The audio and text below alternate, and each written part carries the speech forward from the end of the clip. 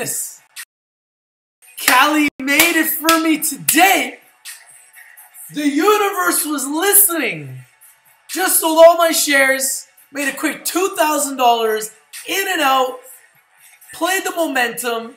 Kaly, wow, what a beast. I just sold it at 007. I bought it at 0047 and sold it at 007 by the end of the day, in and out. Just wanted to share it with you guys, man. I told you guys I'll let you know when I buy it. I told you when I let you know when I sell it. And I got in, and now I'm out. And that's it. Made two G's. Not bad. Time to go celebrate. Up 2,950%. What? And who brought it to you first? Your boy Rich. I told you. Hey, listen.